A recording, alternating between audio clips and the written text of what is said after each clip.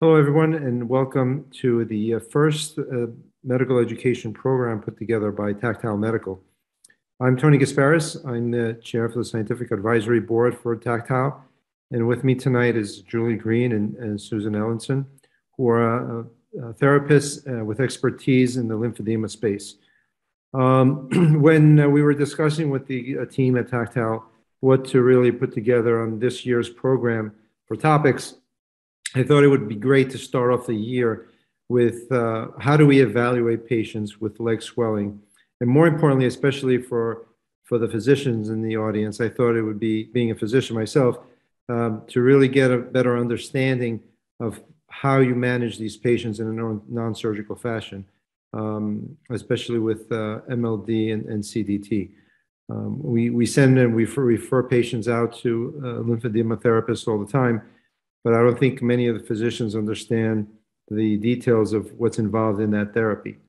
Um, so we're going to kick off with uh, me talking about um, the evaluation of patients. Uh, what do we look for? And with us today, actually, uh, I have one of my patients uh, who will be participating, and I'll be interviewing her as far as what type of questions I ask patients who present with leg swelling. Um, I'd like to remind everybody for any questions, please submit them in the uh, Q&A box at the bottom. And also remind you that if you're uh, not able to uh, listen to the whole webinar, if you want to go back and listen to it another time, this will be uh, this is being recorded and will be available uh, for future uh, playback. Um, so I will get started and kick off uh, with the uh, evaluation of patients with uh, leg swelling. So here we go. Hold on one second.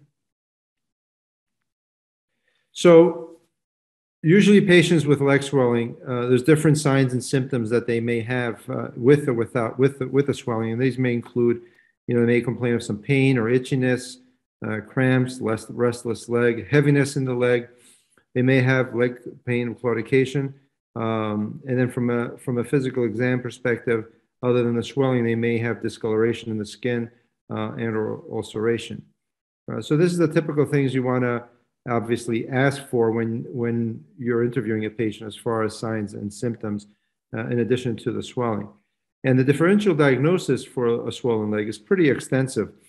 Uh, you can have anything from systemic causes, uh, infections and inflammation, uh, obviously metabolic causes. Obesity, I think, is one of the main reasons for leg swelling, given the uh, obesity epidemic in the US. Uh, a lot of the patients present with clinical signs of um, lymphedema where uh, the obesity is contributing to that.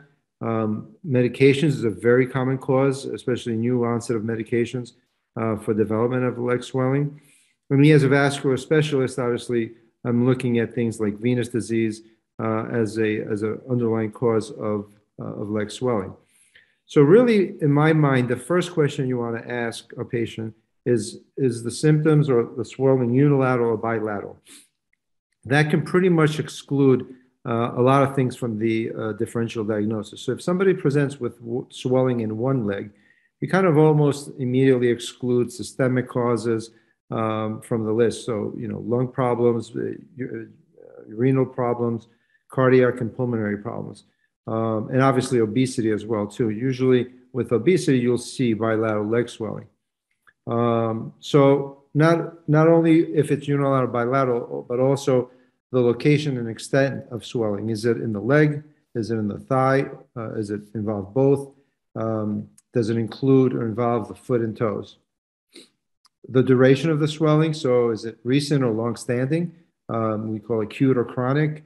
And you know, when you have somebody that presents with new onset of leg swelling, you think of more acute situations like inflammatory process, an infection, um, a DVT, uh, versus one that's or or even uh, a malignancy that's a new new malignancy in the pelvis, potentially causing uh, lymphatic obstruction or venous obstruction. Um, and then long-standing uh, symptoms, obviously, we'll talk about.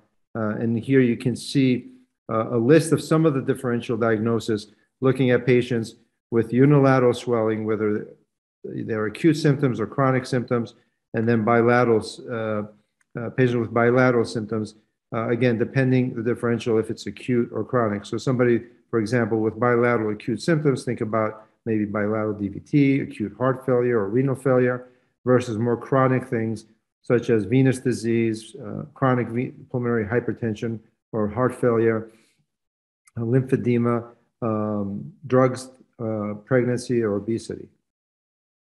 So other questions to ask is, you know, what makes it worse? What makes it better? How do, does your symptoms improve with uh, elevation or do they completely resolve or you always have residual swelling at the end of the day? And that helps you also uh, figure out what from that differential on the list uh, you start thinking as the cause of the swelling. Other clinical symptoms related uh, to limb uh, or systemic include, you know, pain, heaviness, bruising, like I mentioned earlier. You know, think of uh, uh, weight loss, uh, acute onset of weight loss, fevers or night sweats if you're thinking of potentially a malignancy going on. And obviously, in the COVID uh, era that we live in, I've seen a good number of patients present with, uh, with leg swelling uh, after COVID.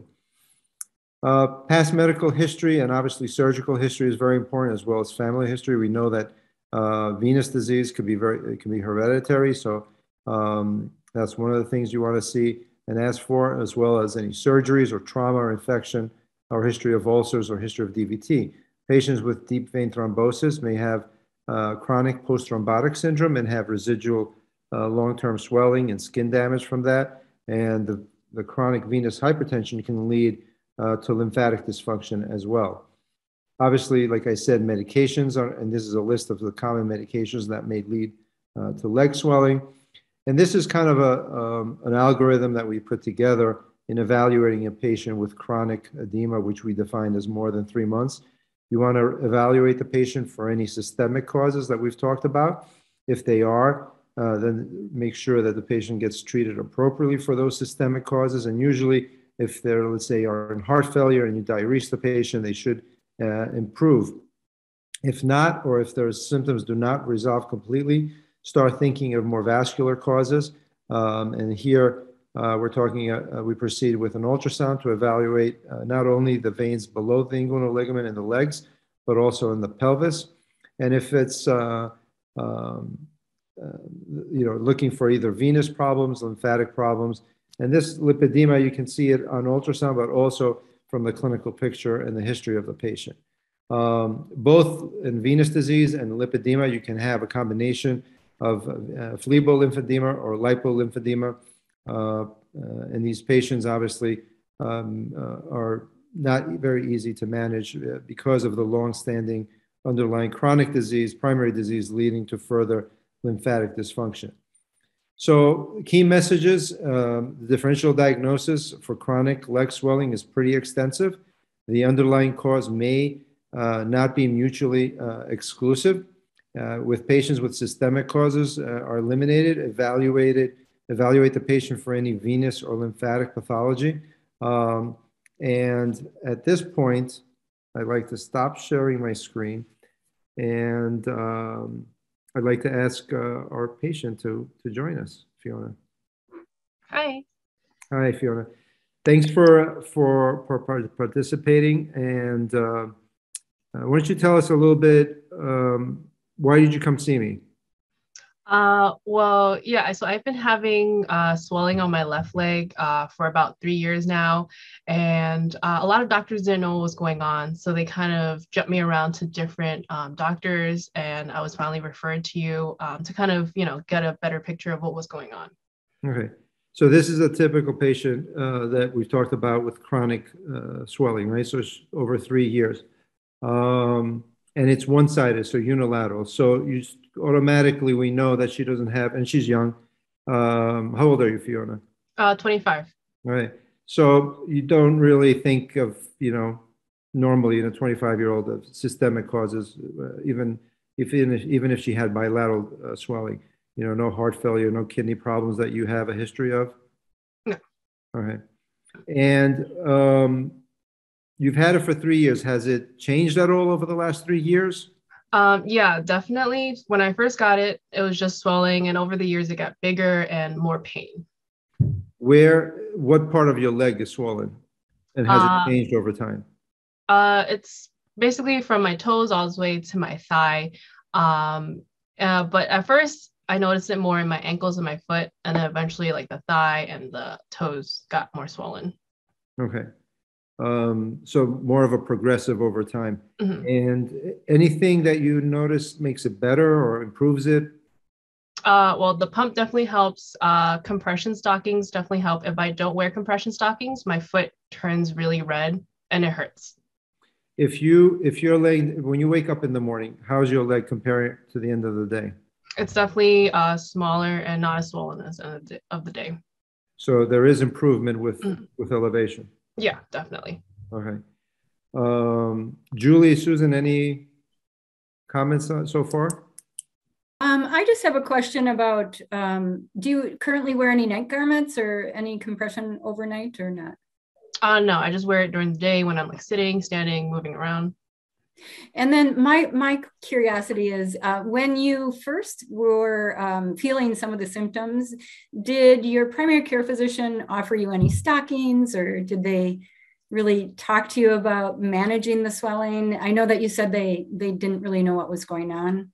Yeah, so they didn't, um, you know, they didn't know what was going on, so they didn't really know about compression stockings. Um, and it wasn't until I like I got to uh, like vascular surgeons, and that's when people, that's when the doctors recommended me compression stockings. Okay. So, Yeah. at what point did you receive like a, a diagnosis of lymphedema as well? Was it not until you reached Dr. Gasparis, or had you even heard the term prior to that? Um, so I, I did have a few, I did see a few other vascular surgeons before Dr. Gasparis, and they did uh, diagnose me with lymphedema. And I would say probably almost like at least half a year since I first started having the, the swelling happen is when I actually got an official diagnosis. Gotcha. Thank you. Any any surgeries you've had? No, no surgeries. Any medications you take? Nope. Okay. And again, these are medications usually you would expect bilateral swelling, not unilateral. Um, so Fiona, just I'm explaining a little bit my line of thinking when, when we're asking you the questions uh, as far as what I suspect. And I know Susan kind of already said that you've been diagnosed with lymphedema. Um, but did you have any uh, vascular studies or ultrasounds before? Uh? Yeah, I, I do get vascular, I mean, uh, ultrasounds. Um, you know, at your office, I did one, and uh, another vascular surgeon, they did some. Um, and I also did an MRI, you know. Okay. Um, no weight loss, fevers, chills, anything? No. Okay. And tell me a little bit about the pain in your leg. Um, the pain kind of varies. It's like a heavy achiness. Um, so I noticed there's definitely an improvement when you wear the compression stocking. I don't feel the pain. But if I don't, also, if I were to walk around without any stockings for like maybe 10, 15 minutes, I'll definitely feel like the achiness and the heaviness building up. Okay. Um, I'm just going to share my screen again and just show everybody uh, the clinical picture here. So this is her right leg, and this is her left leg, obviously. And you can see, um, Julie, you want to, or Susan, you want to comment uh, as far as, you can see there's loss of definition of the ankle, uh, loss of definition of the kneecap, um, and the edema or the swelling involves the toes all the way up into the thigh. Uh, anything else? I mean, there's no skin changes or anything that you notice, Fiona? Uh, no, so far no. Only if I don't wear the compression stocking, if I walk around, then yeah, it'll turn all red. Other than that, uh, it's like normal. Okay. Any comments on the on the clinical picture? I'd just say in the foot there, you know, starting to see some of the increased creases along the the toes there and the joint lines, those types of things as well. Okay. So would you say this is a very classic uh, picture of of uh, primary lymphedema? Uh, definitely has some telltale signs of it. Okay. So, um, so we did an ultrasound. Actually, she came with an imaging study from the outside, and we just repeated it. Um, there was no venous disease uh, in the leg, um, no reflux, no no indication of previous deep vein thrombosis. Um, and we did an ultra, um, ultrasound of her pelvic veins, uh, which did show she had compression or obstruction of her of her iliac vein.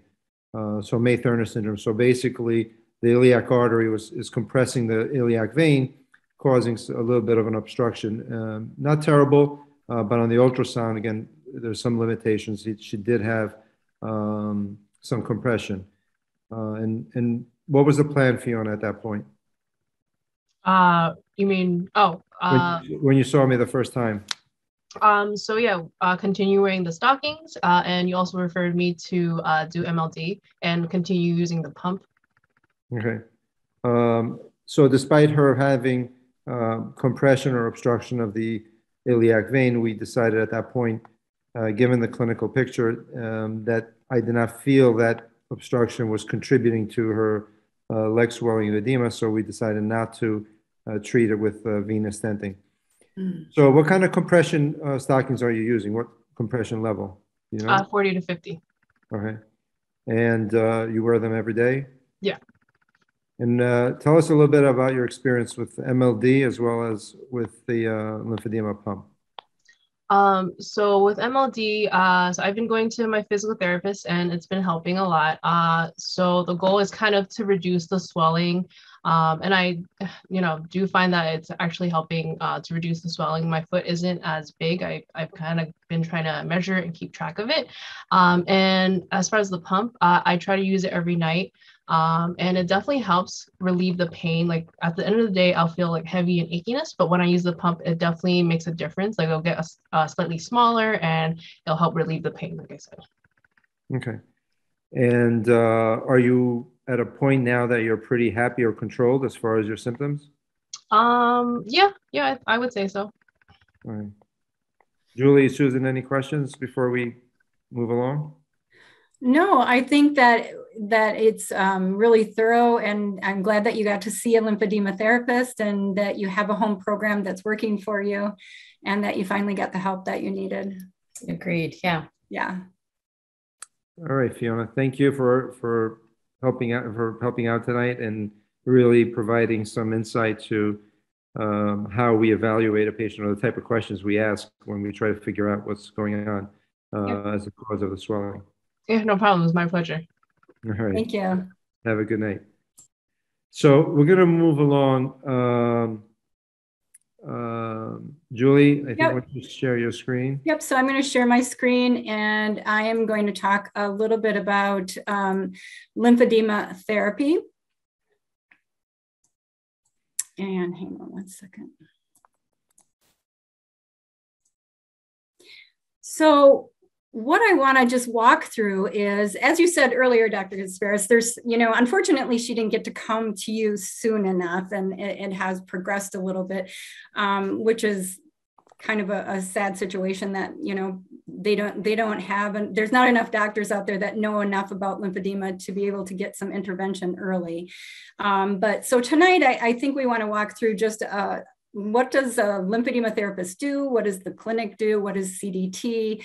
and um, primarily for the physicians that are attending because oftentimes they just really don't know what's happening in our clinic they know the treatment works but they don't often know exactly what we do so i'm going to walk through that so I want to start by explaining what discipline treats um, lymphedema patients, and that is typically an OT or a PT with the advanced training um, and certification in the management of chronic edema.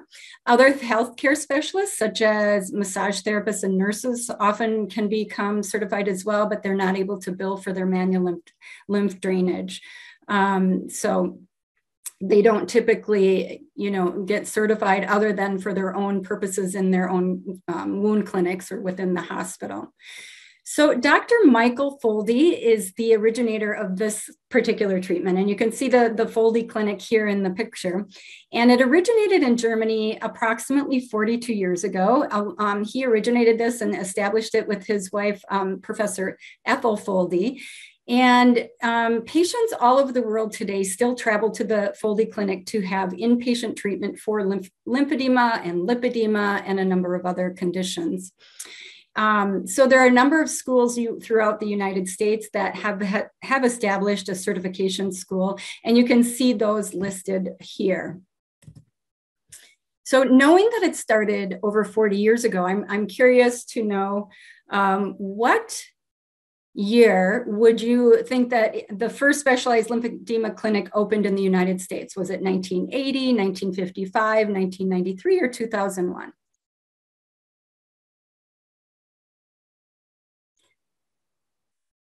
And I'd be surprised if you said 1955.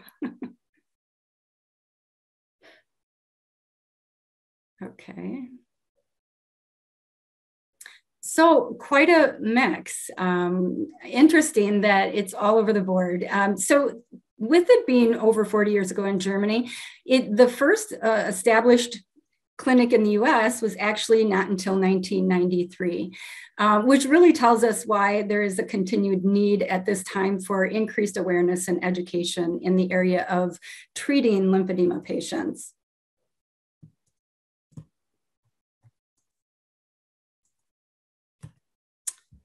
So CDT or complete decongestive therapy is considered the gold standard of treatment. There are two phases, including inpatient or excuse me, in clinic, um, and, or and then in, in addition to that, self-care or home man, home maintenance. So during the intensive clinic phase, patients are typically seen two to four times per week, depending on the severity and the stage of the disease, as well as patient's insurance coverage, accessibility to a local therapist or a local clinic, mobility status, transportation, and really a commitment to therapy because it is quite a bit of a commitment. And we know that um, only 50% of the patients that actually are referred to our clinics um, attend our, our treatment sessions, which is unfortunate. Um, each session will last anywhere from 45 to uh, 90 minutes, depending on the patient's body habitus, the tissue thickness, the skin integrity, whether they have active open ulcers, um, also their patient tolerance for the position. For example, if we're treating a patient that is morbidly obese with bilateral lower extremity lymphedema as well as trunk edema, that could take up to 90 minutes within the session. It's also best practice really to consider um, including a standardized lymphedema functional assessment um, to determine the patient's functional impairments and, and their impact on their daily activities. So the first phase in clinic is an intensive episode of care where the therapist will focus on four main components. This is going to prepare the patient for phase two, which is their home ma management phase. The first component is manual lymph drainage, and this is going to be really covered in more detail um, with Sue, but it's basically a, a very specific skin technique and um, it is eliciting a change in interstitial pressure and you're moving fluid, interstitial fluid away from obstructed or congested areas to more healthy adjacent regions where it can be drained normally. Um, the second main component is gradient compression bandaging, which is also going to be discussed uh, later in the program. But this includes applying a multi-layer short stretch bandaging system to soften fibrosis, really reduce fluid volume, and prepare the limb for an appropriate compression garment. Exercise is the third component, and this is really important that the patients understand that in phase one, their exercise program is as important as phase two.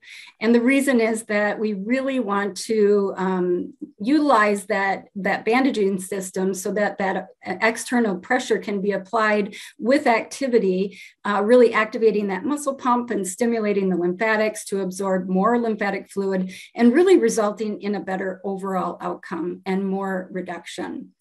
So the exercise program will definitely need to be assessed uh, for patient safety and modified accordingly because it is a bit restrictive in the bandages, but there are specific lymph drainage exercises that patients are often instructed to perform. For example, a therapist might ask a patient to um, initially clear their terminus, which Sue is going to cover in a little bit, followed by diaphragmic breathing, trunk rotations, side bends, and then following that, um, by maybe having internal and external hip rotations, straight leg raises, uh, knee bends, heel pumps, and then finishing their program with maybe a 10 to 15 minute walk or a ride on a stationary bike.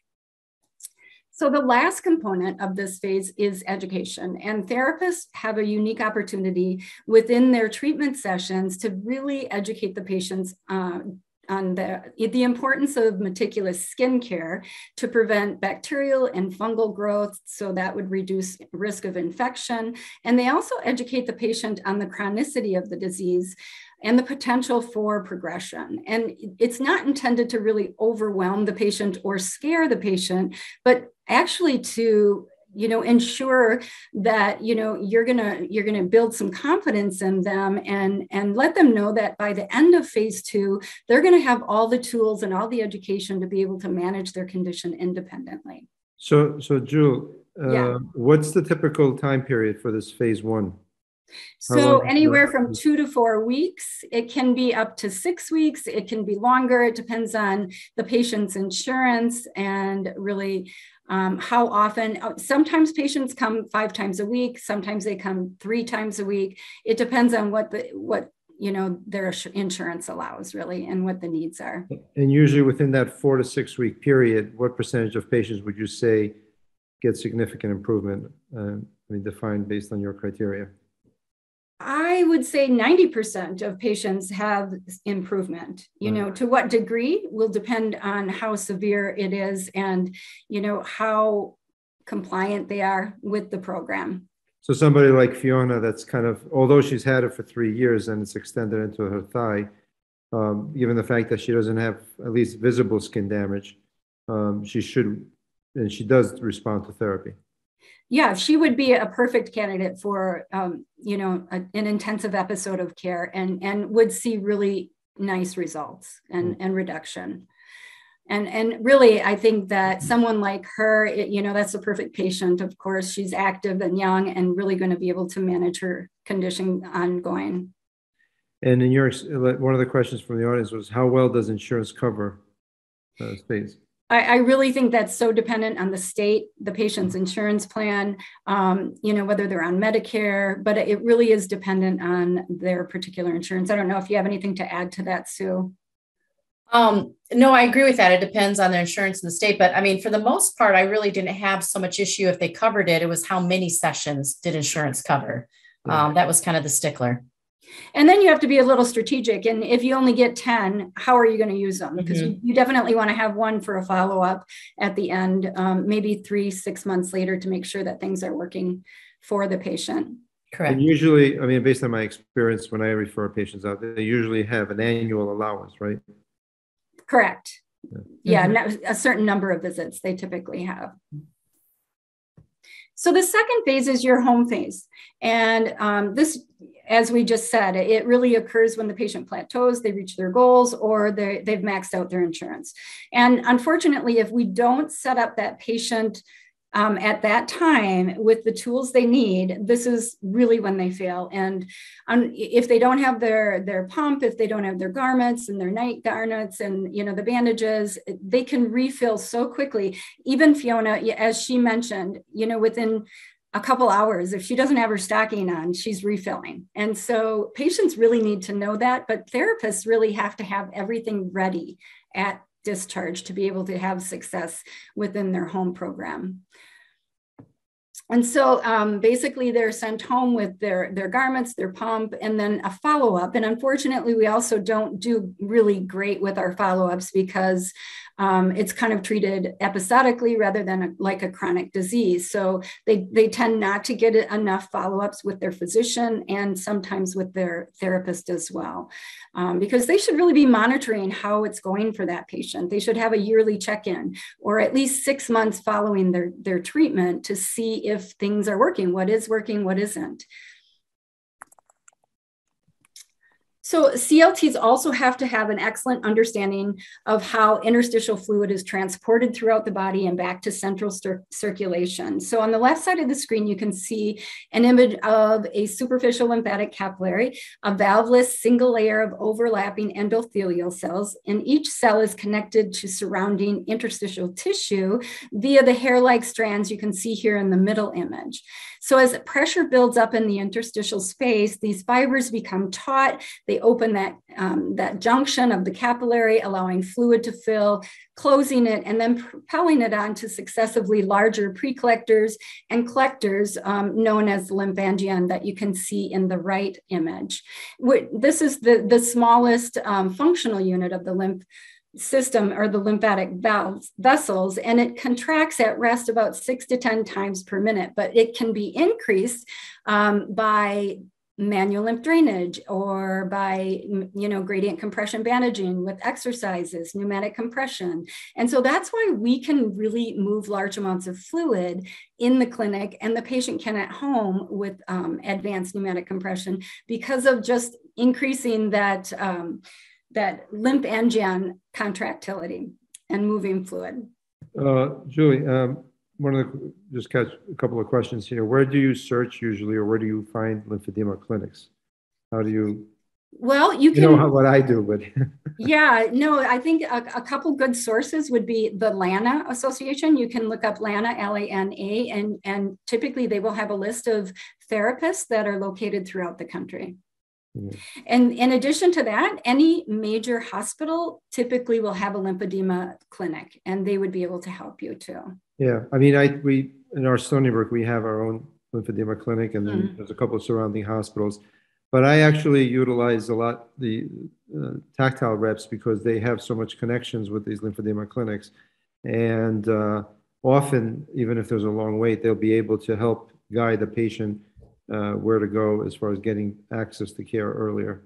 Because some clinics you know, yeah, that's a that's a really good point, Dr. Gasparis, because all of our reps work with hundreds and hundreds of therapists, and they really are, um, in a sort of a consultative way, helping patients find those therapists when they need them, uh, even in remote areas. So, does Medicare cover physical therapy services for to treat lymphedema? Yeah. Again, I think there's just a number of um, visits that they that they yeah. are allowed, but I they definitely do yeah, cover lymphedema therapy. And if a woman becomes pregnant, um, uh, anything that changes afterwards regarding the treatment or during pregnancy? Oh, well, there are some, you know, maybe precautions or contraindications in terms of compression, and particularly with pneumatic compression.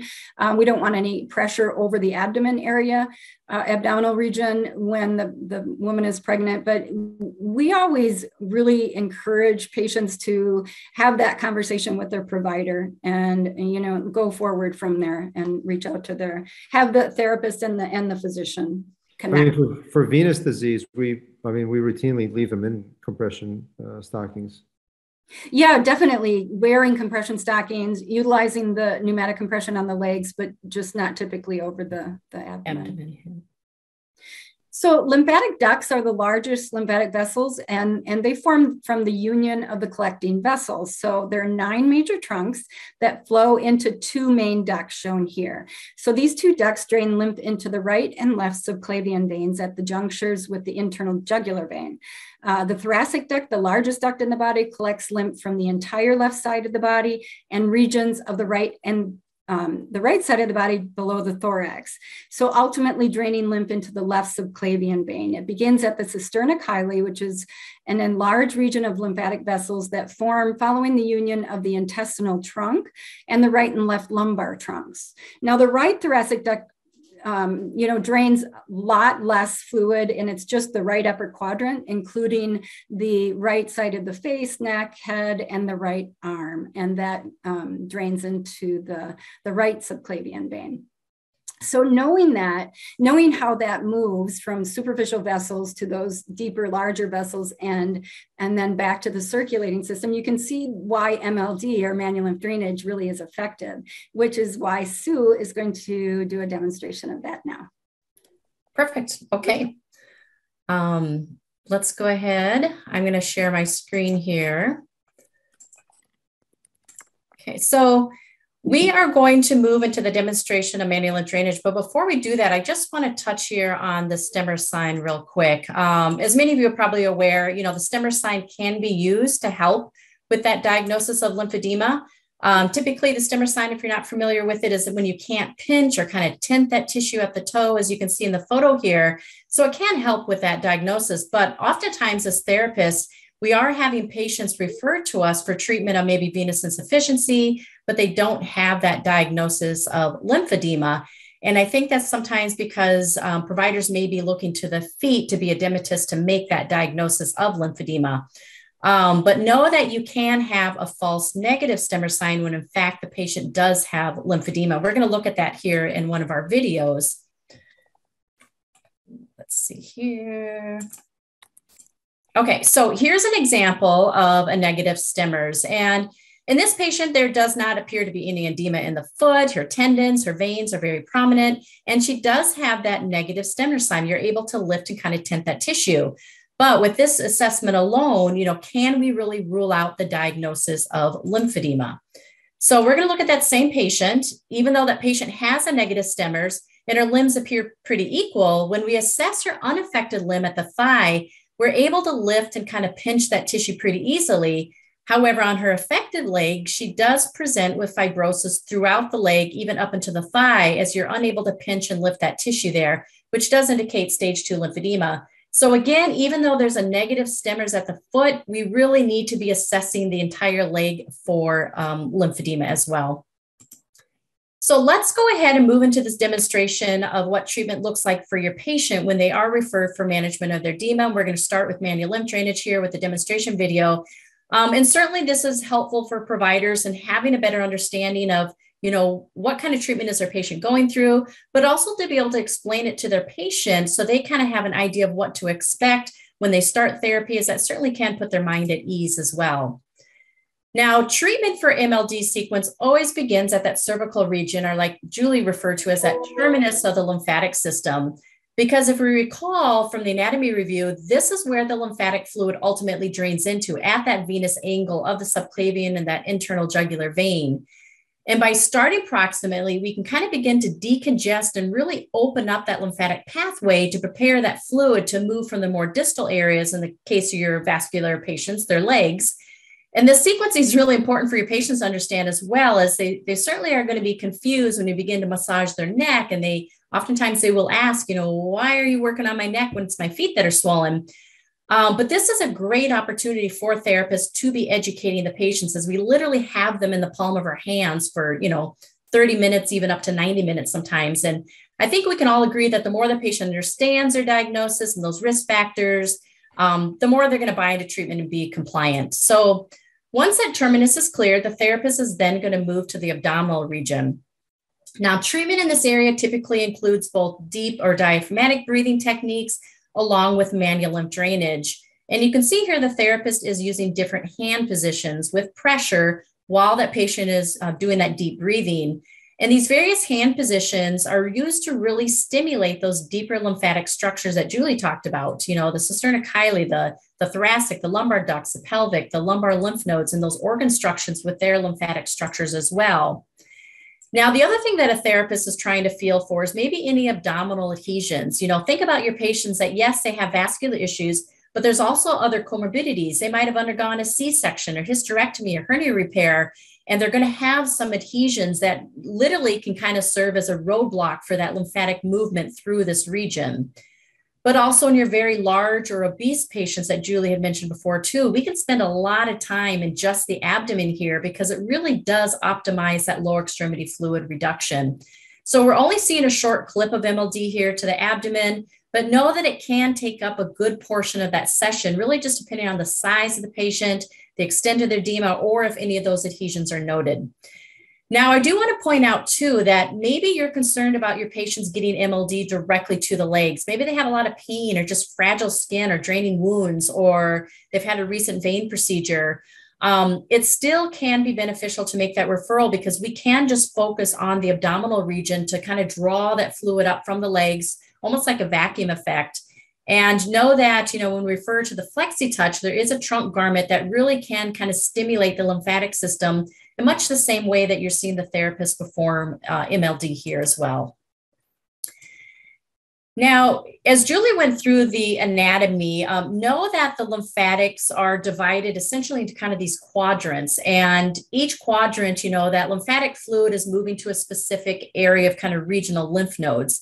And as therapists, we're using these manual techniques to manipulate that fluid, you know, from one quadrant across what we call kind of a watershed into a different area to move that fluid from that area congestion into an area that has healthy, intact lymph nodes. So, in the case of your patients with vascular issues, lower extremity lymphedema, we're moving that stagnated fluid from the legs kind of rerouting it to the axillary region here. And that's why it's important to open up that abdominal region to allow for kind of that free pathway or that highway for that fluid to move on the way to the axilla. Now, once the cervical, the abdominal, the axillary region have been cleared, we can move to the legs. Now, the leg itself is treated kind of in segments. So we start proximately to, you know, kind of decongest the thigh before we move to lower parts of the legs or more distal aspect. And this segmented approach really ensures that the lymph vessels that are more proximal are kind of properly cleared and prepared to handle that incoming lymphatic fluid from the, the lower leg. So it's not like just, you know, taking the fluid from the feet and pushing up the leg. You kind of have to remove it in segments. You'll find that the therapist may spend a lot of time at the popliteal region or that medial thigh, as this really is an area of pooling because there's kind of this bottleneck as that lymph fluid tries to exit the leg at the knee there. And that's why oftentimes in your patients, you might see that, you know, kind of that hanging edema or that tissue around the knee or even those um, lobules into that upper thigh there. Now, as you observe the therapist techniques here, I do want to talk about some of the common characteristics of manual lymph drainage. This is a very purposeful skin stretch with their hands to really provide that desired effect. And depending on the anatomical structure, maybe the size of the limb, the tissue type, the therapist is going to change their hand placement, you know, the type of strokes that are used and that length of time that's spent in an area. But really, overall, there's common characteristics to manual lymph drainage. And one is that it's very gentle pressure. And I really should refer to it more of a skin stretch than pressure, as treatment shouldn't be deep um, or a muscle massage, even though your patients will want you to go deeper because it feels good. But if you go too deep, you really can compress those delicate vessels and decrease that mobilization.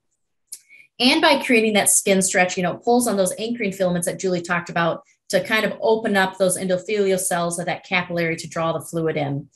Now, another characteristic is that it has both a dynamic or kind of a working phase that's used to promote movement of fluid in that desired drainage direction. And you'll see here it's followed by what we call a relaxation or a resting phase. And that resting phase allows, um, again, that vacuum effect by that passive distension of the tissue, which leads to refilling of the lymph vessels. And then last is a very slow manual technique, about one to three seconds. Um, faster is really not ed, ed, um, indicated or even going to be effective um, because that lymphangion pulsation is about six times per minute when resting. Now, when we talk about the pump or the FlexiTouch, it can simulate these same characteristics, provide self-automated MLD. So if you see here, um, this is how it works. It has those narrow chambers that inflate and deflate about one to three seconds, which simulates that work and release of MLD, as well as stimulating those uh, anchoring filaments to open up that capillary to pick up that fluid and move it deeper into the system. And for your patients with chronic edema, MLD really needs to be completed daily through, you know, a therapist or using the FlexiTouch for automated self MLD in the home. And this can be really difficult for your patients to perform self MLD at home, um, you know, using their hands because they have pain or limited range of motion. Now, in returning to demonstration MLD to lower extremities, you know, treatment is going to continue down. We stopped at the thigh, but it goes to the calf, the ankle, the foot, the toes. And once we've completed that decongestive phase, then the therapist starts to move that fluid through the drainage phase all the way back up the leg um, and back up to the axilla region. And on their way, they may stop, kind of rework some tissue changes or fibrosis as well. So that is the end of what manual lymph drainage looks like. I'm going to pass it um, off to Julie here again uh, to talk about, you know, when we complete manual lymph drainage, it is really important that we're bandaging these patients because these patients can refill very quickly after a session of manual lymph drainage. So we need to bandage them to um, really lessen that refill in between sessions here. So with that, Julie, I'll let you uh, take it from here. Thank um, you. Thank you. really, really kind of comprehensive Yes, uh, very, very quick. yeah, but really, you know, I mean, we send patients all the time as a, as a physician, and uh, I really don't know what happens uh, in the lymphedema clinic. So it's great to know the detail and, and the, the, the, the thinking behind the therapy yeah, there's a um, lot of uh, you know skill involved and experience as therapists start to learn you know what tissue feels like and you know being able to feel for those adhesions and fibrosis and how to get that tissue to soften for the yeah. patient as well. And like Fiona mentioned, I mean, if she doesn't wear her bandages, you know, she'll fill it right up. And Julie, right. once you go into that as far as how to uh, prevent that. Right. So, in addition to understanding the manual lymph drainage. Um, it being skilled at bandaging is really important, not only for optimal outcome, but for patient safety. As they wear the bandages, sometimes for several days over weekends, and even a small wrinkle or in the gauze or areas that are too restricted can cause a tourniquet effect and reduce blood flow. So in the following video, I'm gonna really demonstrate gradient compression bandaging to below knee patient lymphedema um, and really using a variety of supplies, including short stretch bandages. And I can't stretch, I can't stress enough that we recommend short stretch over long stretch because it has a high working pressure and a low resting pressure. And so that means that when the patient is up and active, it's working. And when they are at rest, it is not continuing to compress, just like long stretch bandages do. Um, so important to know that. So first, the, um, if you take a look here, I've already applied uh, stockinette as well as low pH fragrance-free lotion. And then I'm going to apply um, a toe bandage. And this is a gauze bandage that is available in one, two, or three inch widths. And all these supplies can really be ordered online um, just by Googling uh, compression garments or lower extremity compression kits. It may look easy, but it takes a lot of practice and training to make sure the bandage is applied consistently to each toe. It's important to keep the bandages really close to the skin while wrapping and so that it isn't pulled too tight and not in, in, in as I mentioned. Um, otherwise, the patient is going to have extreme pain, and those bandages will be taken off probably within an hour after they leave your clinic.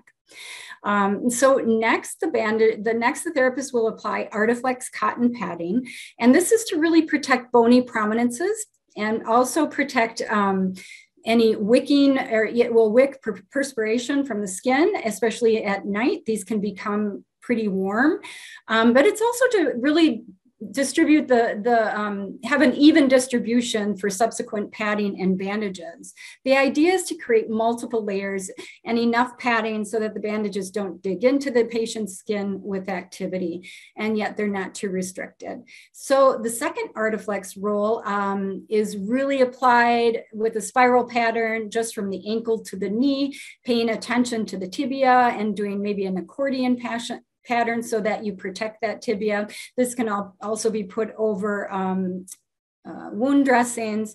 And the third part that I just put on was the, the padding. So that comes in a variety of um, types. It could be a gray padding or a circular padding like I used here, but it's really creating that structure and um, setting the patient up for the, the bandages to have a very stiff structure and a gradient, um, a cylindrical shape. So what I'm um, applying here is, is uh, four to six bandage, four to six centimeter bandage um, that is usually smaller and, uh, you know, narrower, you want to use those uh, more distally and then use the larger bandages progressively um, more proximal to the leg because you want to again create that gradient. And this is in a specific pattern um, that is utilized for every patient. And then you add the next bandage, which is the um, either the eight centimeter or the six centimeter. Now, if you have a patient that has thigh high swelling, you're going to use a 10 centimeter bandage all the way up the leg. And you can see that um, you start the overlap from the underlying bandage um, at about 75%, and then you want to lessen that so that you continue to get a gradient from smaller to larger. Um, again, adding more bandages is going to create that that gradient. And here I'm just basically making sure the patient has functional range of motion, that they have sensation, and that they are, um, the, the pressure feels the same throughout. And this is just going to be a really brief demonstration of some of the clinical modifications that therapists make with challenging areas. So certainly around the malleolus, um, the, that that edema is hard to, to get out and to move. So you might want to have a little kidney shaped padding. Sometimes you can cut you know, custom foam so that you can address and provide more structure and texture to fibrotic areas or papillomas or even um, lobules that need that extra compression. And then you would just continue to bandage the leg um, the same as you would if you were not using any of these modifications um, with the Artiflex and the padding. And as I mentioned, there is a gray foam that you see that I placed on the leg. Now, many therapists will use that instead of the, the actual foam padding that you can see here. Um, it kind of depends on the school that you went to and what you learned in your school. And then with that modification, I'm going to do a figure eight because I really want to create more stiffness, more pressure, um, and that will really, uh, you know, enhance that lymphatic stimulation while this patient is up and moving. And you can also see that I, I apply, try to apply a consistent pull or stretch to each side of the limb so that I get a consistent pressure throughout the entire limb while I'm completing my bandage system. And basically, that would be the end of it. And you would again just make sure that the patient has range, functional range, they, they can move their toes, and that it feels similar throughout. Now, Julie, as you're wrapping them, I see you're, you're having them flex their ankle at the end. Yes. Do you yes. have them flex during the wrapping? Yes, you do. You would want to um, you want to be able to wrap that leg in a functional position so that uh, it, it doesn't cause pain. And if it isn't in a functional like dorsiflexion position, then you, the patient will experience some discomfort when they when they leave and when they're at rest. Um, so the supplies you see here, many of them I used uh, on this particular patient, and they are really your standard supplies that a lymphedema clinic would have. Now, if they were also certified and able to treat wounds, they would have all of their wound supplies, but you can see that there is, you know, custom made chip mm-hmm. chip pads and chip foam that, that, therapists really put a lot of thought into how to address some of that more challenging um, tissue basically so let me ask you a question for the the most challenging leg that i find is that hourglass where they have significant fiber advanced disease yep. with like a really skinny leg from the distal calf and then really big above that yes. how do you how do you really compress them or so what you would them do, so that you can get kind of a uniform uh, that's where we would use some of that padding. So we might use additional Artiflex to build up that area and um, some of even some, you know, prefab swell spots or foam that you try and get that cylindrical shape and you just pad areas underneath the bandage system so that it's an even distribution of pressure. Yeah, it's just, I can see a lot of padding being going. Mm-hmm. It is. It is quite a bit of padding. It's really, it's very overwhelming sometimes for the patient. But I think that um, once they see and learn how to do it themselves, and I, you know, most patients say that the bandages feel good, right? They feel good with the pressure and with compression on.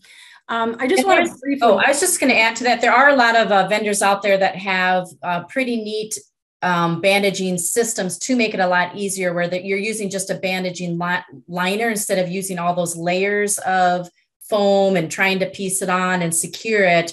They can use like a bandage liner that they just pull on like a sleeve that kind of like you say fills in that area for you too Right, right. And there's also um, uh, reduction kits available now that some clinics use where that is, I think it's made by Medi. I'm, I'm not 100% sure, but um, that is another bandaging system that's a little bit easier for patients to use. Mm-hmm. So this is a, just quick, some of the. Really, yeah, yeah. Uh, quick question. Oh, this is an interesting one. Uh, do, can we have this video available uh, for the therapists out there to send over to the physicians that refer patients to them? Definitely, yeah. Mm-hmm.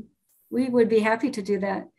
Um, I, I, wanted to show, you know, once that bandaging is complete, once that limb has reduced and you have reached a plateau, then you want to get them right away into your compression.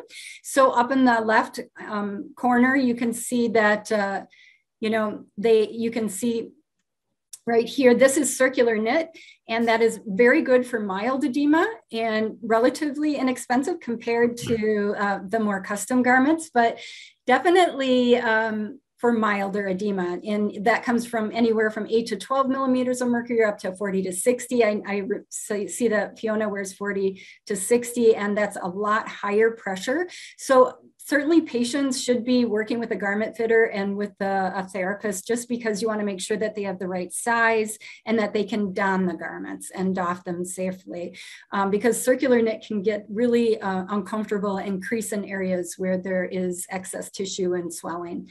The, the middle one here is a custom garment. These are very expensive, but they also contain incredibly well. You don't have that rapid refill and um, you do need a garment fitter to be able to measure your exact and, and this is great for, for those legs that are unusually shaped and don't have a normal shape to them. And then this one on the right, this is an off the shelf custom, well, it's an off the shelf flat knit. So that flat knit, like I said, contains better.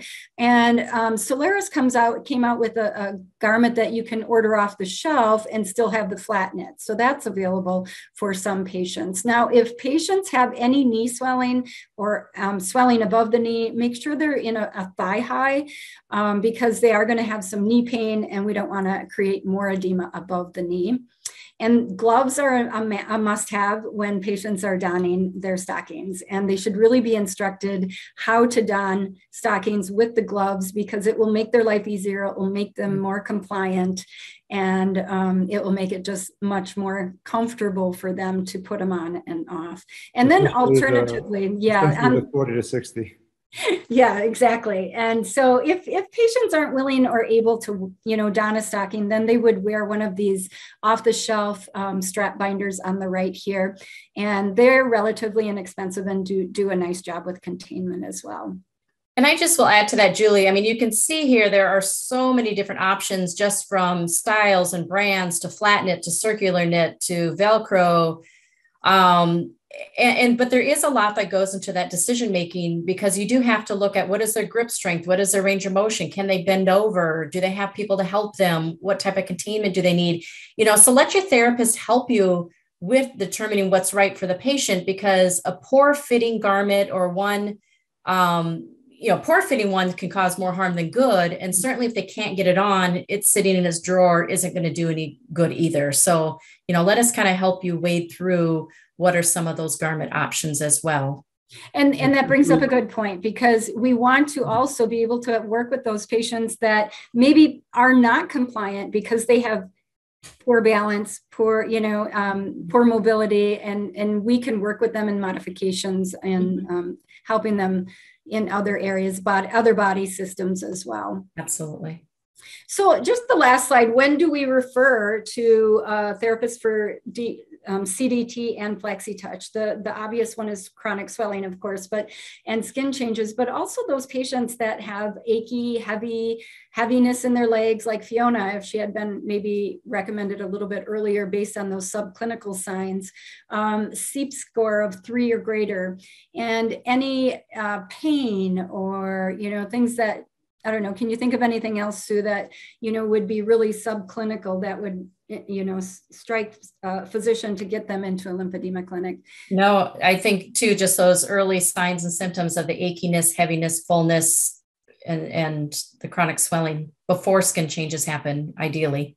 Yeah, and, I can see exactly also, what happened with Fiona. She probably had some mild swelling to start with. She saw primary probably got an ultrasound. There was no DVT, and they just poo-pooed it. You know. Exactly. Yeah, and that's unfortunate um, because really you could sometimes prevent that from progressing to those irreversible stages of two and three, and then just finally, you know, not one component is a standalone and and that includes bandaging manual lymph drainage pneumatic compression. They all have to really be used together to have a successful program. So. Okay yeah, so um, submit your questions through the Q&A and... We have plenty, despite me trying to keep up. All right, let's see. Um, when you're putting these uh, garments or, or, bandages on, uh, Julie, do you use a device to measure the actual pressure you're, you're delivering? I know there's a couple of devices that are out there where you can actually put under the bandage and there is something called a PicoPress uh, that you can um, some of the the, the sleeves and the night garments actually have um, a, a, a, pressure gauge that you can use for home use. Uh, typically with bandages we don't generally use a PicoPress or any kind of um, system to measure applied pressure and I, I think it becomes, you know, just with experience and and like Julie was showing you when you feel the bandages, you know, you can kind of feel how much pressure there is on there, along with um, educating the patients that you know what they're feeling too there. Mm-hmm. Yeah. And I think that's what we learn in the schools too. We, we do it a number of times to, to really know the exact pressures to apply. Uh, someone's asking why isn't the ball of the foot covered? But you do cover the foot, the ball of the foot, right? I did cover it with the stockings and the toe bandages. Right. Um, and, and the Artiflex, I think.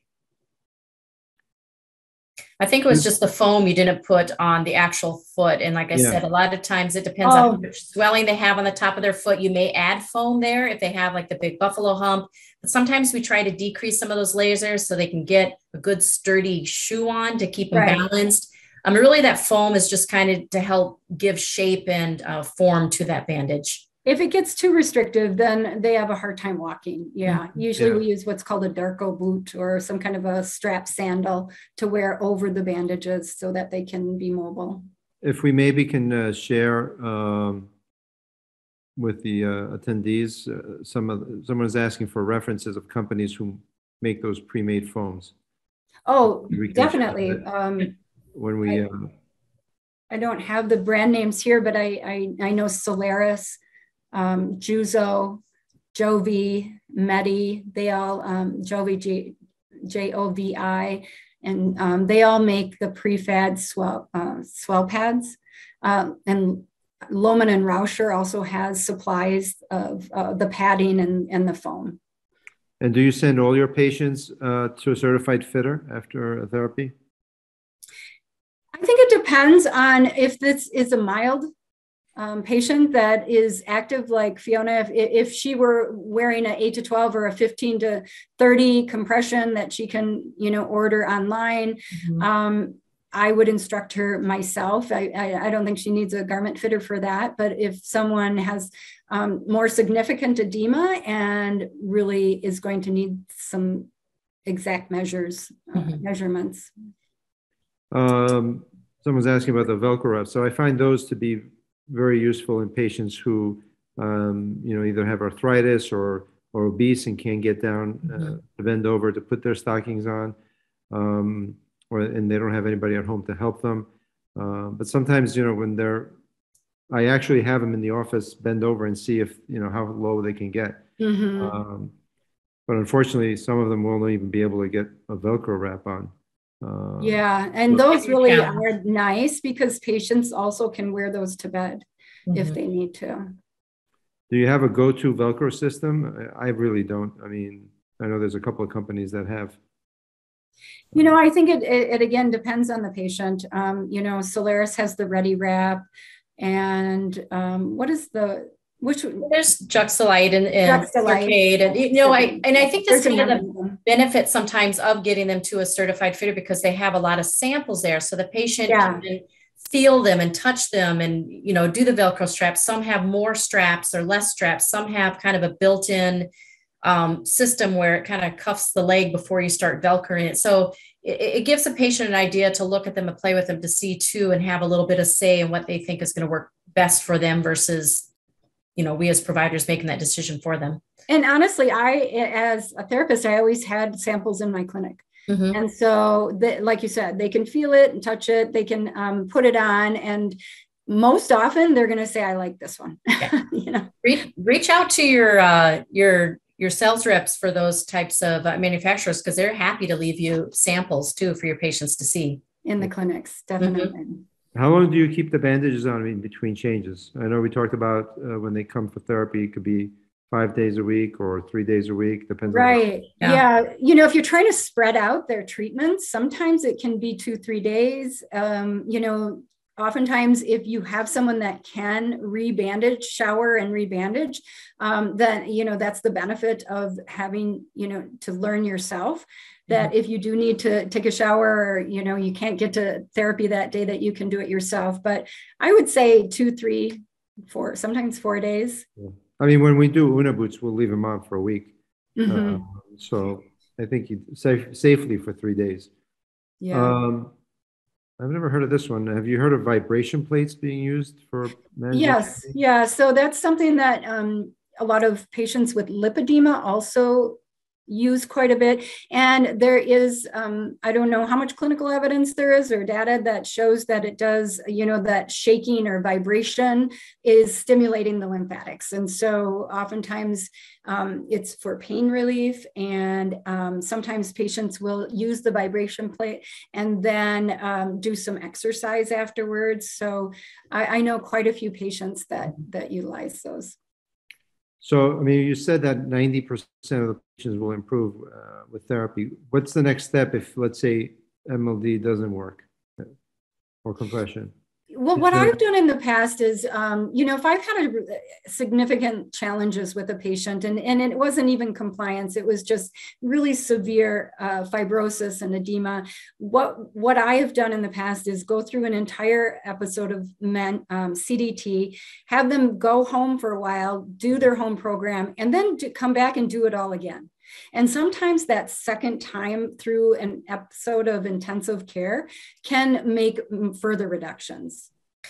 And I think sometimes it's setting those expectations for patients because, you know, a lot of times patients are looking for that sizable reduction in their limb.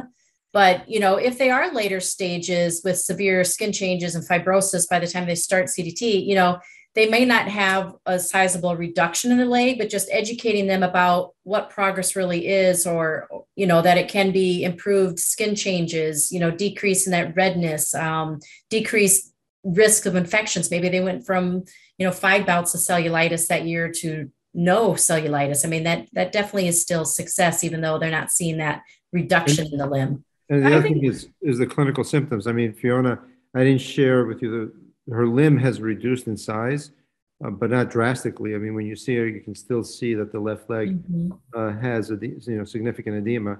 I think she reduced uh, in the ankle like about three four centimeters. Mm. Um, mm-hmm. But her symptoms, her pain and stuff, is much better controlled. That's what I was hearing from her. She sounded like it was better managed. Uh, it wasn't as uncomfortable. Yeah. Um, and I always try and talk to patients about what functional changes they have. Can mm-hmm. they go up the stairs now where they couldn't before? Can they lift their legs into their car? You know, is there a, um, a walk from you know around the block or to a friend's house that they weren't able to do those are better benchmarkers than um, the reduction nice. Yeah. i agree plus plus like susan said i mean cellulitis episodes i think obviously right. significant morbidity and and worsening of lymphedema and cost to the system. Mm-hmm. So I think uh, we're just about yeah. seven minutes after the hour. So I'd like to thank uh, Julie and Susan, and especially Fiona, uh, for participating. And just want to let you all know about the upcoming uh, webinars. You can see them listed here. I'm not going to uh, read them all. Uh, and I'd like to thank Tactile really for kicking off the year, I think, with a blockbuster program. I think a lot of people enjoyed it and a lot of good comments uh, in the chat room um, uh, on the benefit. Actually, I love the one that said this would be great for medical students for education. Mm. Um, so thank you, everybody, and have a good night. Thank you.